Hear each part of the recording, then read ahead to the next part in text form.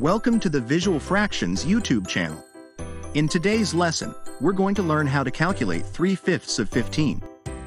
In the problem, 3 fifths of 15, we're trying to find a fraction of 15.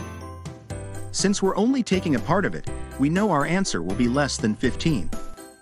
The word of in mathematics typically means to multiply, so we rewrite our problem as multiplication. 3 fifths times 15. To simplify the calculation, we first convert our whole number into fraction form, writing 15 as 15 over 1. This transformation makes it easier to work with our numbers as fractions. Now, we proceed to multiply across. First, multiply the numerators. 3 times 15 equals 45. Next, multiply the denominators. 1 times 5 equals 5. We now have a new fraction, 45 fifths. To find the final answer, divide the numerator by the denominator. So, 45 divided by 5 equals 9. And there you have it. 3 fifths of 15 is 9.